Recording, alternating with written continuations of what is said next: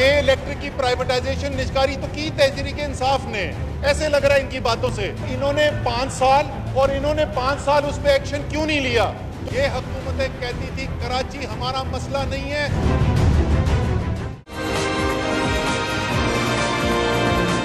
के इलेक्ट्रिक की प्राइवेटाइजेशन निष्कारी तो की तहरीक इंसाफ ने? ऐसे लग रहा है इनकी बातों से। सर के इलेक्ट्रिक की निजकारी की गई थी पाकिस्तान मुस्लिम लीग काफ की हुकूमत में।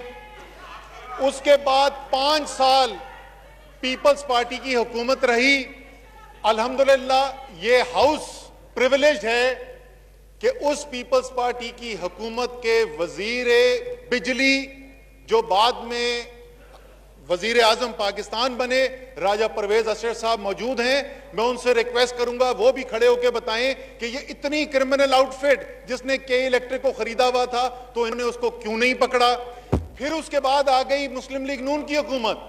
पाँच साल, अल्हम्दुलिल्लाह, वो भी हुकूमत चली। और इस हाउस की खुशकिस्मती देखिए कि मुस्लिम लीग नून की हुकूमत के वज़ीर बिजली ख्वाजा आसिफ भी इस वक्त हाउस में मौजूद हैं। हम उनसे भी यही सवाल पूछेंगे कि ये मेंबर्स ऑपोजिशन के पूछ रहे हैं कि के इलेक्ट्रिक का जो मालिक है, वो बहुत बड़ी क्रिमिनल आउटफिट है। तो इन्होंने पाँच साल और इन्होंने पाँच साल उस पर एक्शन क्यों नहीं लिया? तो इसका जवाब तो हम उनसे इंतज़ार करेंगे। अब मैं आपको बता दूँ कि लोड शेडिंग हो क्यों रही है? सर लोड शेडिंग इसलिए हो रही है कि हमने जिस वक्त कराची की कराची की मांग बढ़ती गई कराची के अंदर कराची के अंदर बिजली की ज़रूरत बढ़ती गई लेकिन हुकूमतें जो पाकिस्तान में थी उन्होंने कोई कदम नहीं उठाया कि या कराची के अंदर बिजली की पैदावार बढ़ाई जाती या जो बाकी पाकिस्तान है कम से कम वहाँ से तो सिस्टम इंपोर्ट कर सकता। पूरे पाकिस्तान के अंदर बिजली के कारखाने बढ़ते चले गए। हमने इश्तहार देखे आज भी हम तकरीरों में सुनते हैं कि दस हज़ार मेगावाट ऐड हो गया।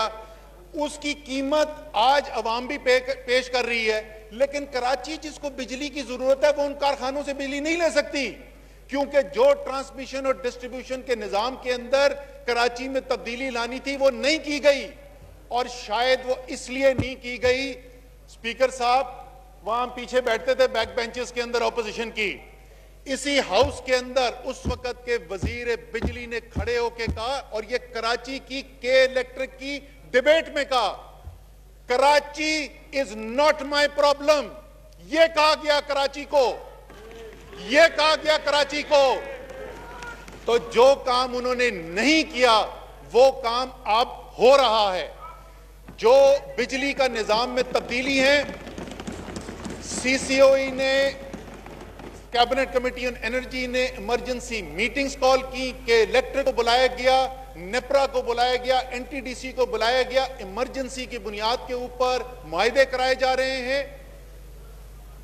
जो कमिटमेंट की गई है, उस प्रोजेक्ट को डिलीवर करने के लिए इंशाल्लाह ताला ये जो ट्रांसमिशन सिस्टम और डिस्ट्रीब्यूशन सिस्टम की बेहतरी है उस निज़ाम की बेहतरी के अंदर इंशाल्लाह रिकॉर्ड टाइम के अंदर इंप्लीमेंटेशन हो जाएगी और आप वो देखेंगे कि वो कराची जिनको ये हकूमतें कहती थी, कराची हमारा मसला नहीं है, तहरीक इंसाफ की हकूमत कहती है, कराची हमारा है, कराची के बगैर पाकिस्तान मुकम्मल नहीं है।